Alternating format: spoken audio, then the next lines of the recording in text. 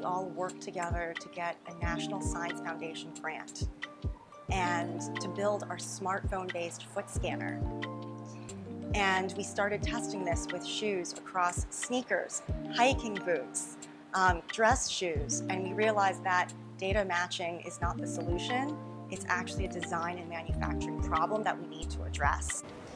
So we went back to the drawing board and we asked ourselves if we want to stay true to our mission and get people shoes that are their best fit without having to wait up to 10 years, what do we do?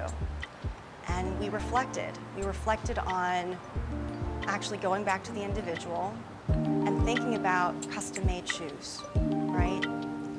And today, they cost between three to $10,000, take between three to 12 months to make, but if we could take those principles of fit and luxury and we could merge them with scientifically proven benefits of ergonomic design, and we could leverage these amazing technologies around AI and advanced manufacturing and modularity, then perhaps we could make that accessible and for the everyday shoe. And so that was when Iambic decided to pivot to our own shoe brands. Um, and it was just a really incredible journey. The team really stuck it through and just really happy to be where we are today.